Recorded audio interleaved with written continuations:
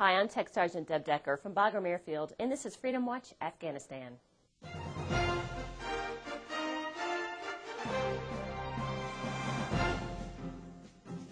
Afghans in the Ghazni province are running the Taliban out of their villages, literally.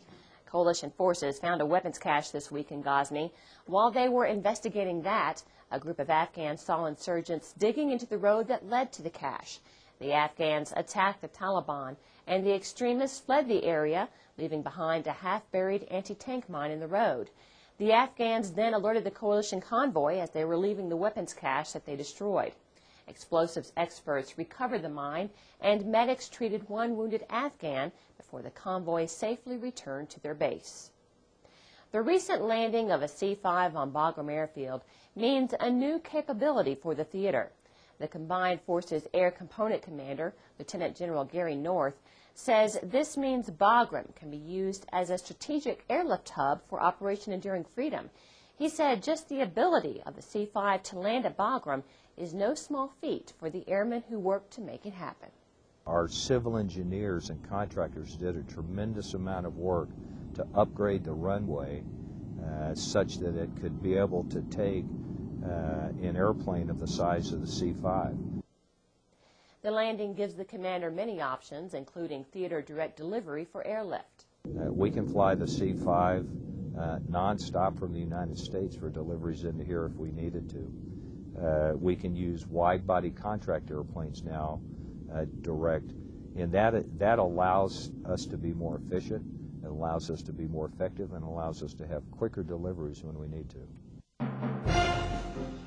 Still ahead on Freedom Watch Afghanistan, another Air Force milestone, this time for A-10 pilots.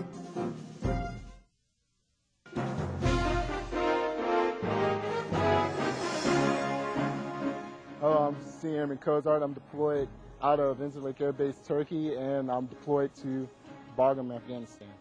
I work base supply. I'm pretty much responsible for everything that comes in and out of this base, mainly aircraft parts. I pretty much ship the broken parts out so they get fixed and bring them back in.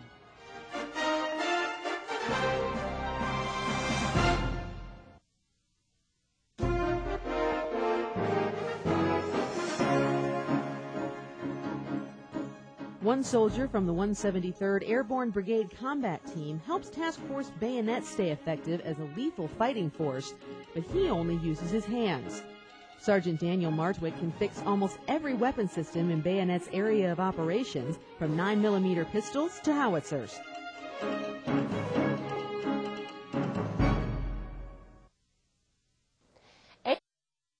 Known for their willingness to fly close to the ground, providing close air support, and sometimes even taking fire themselves while defending troops on the ground.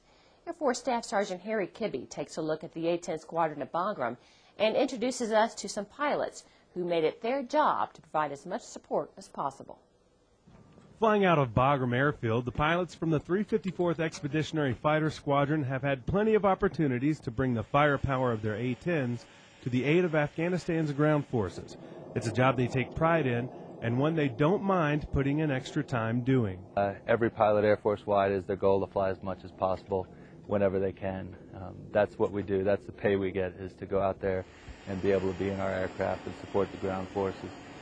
The Bulldogs of the 354th have spent the last six months providing close air support for the American and International Security Assistance Forces in the AOR. During that time, four of the pilots reached the milestone combat sorties.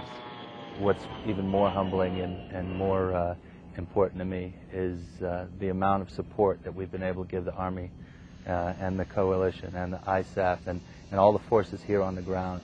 At the end of the day, when the, uh, we find out that no friendlies were injured or knowing that we were able to, uh, to protect them and keep our, our bros alive, uh, that's probably the most gratifying part.